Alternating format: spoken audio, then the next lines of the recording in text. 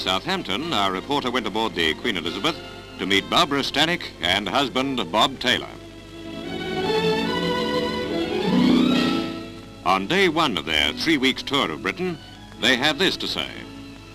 Well, Bob, we're very pleased to see you back again. Now, what are some of your plans? Tell us something about it.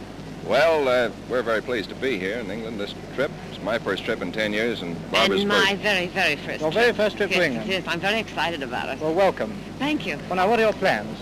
Well, we have a few little matters of business to take care of, uh, pursuant to possibility of doing some pictures over here later in the year. And uh, other than that, we just hope to see England and see possibly a little bit of France. We haven't made definite plans in that respect yet.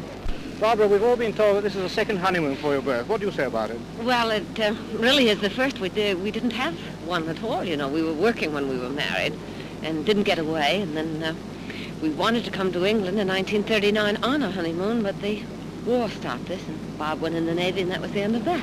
Now, you really have come to enjoy ourselves.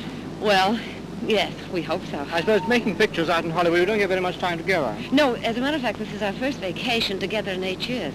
And you're excited about it, Bob, are you? Very much so. Very Well, much so. grand.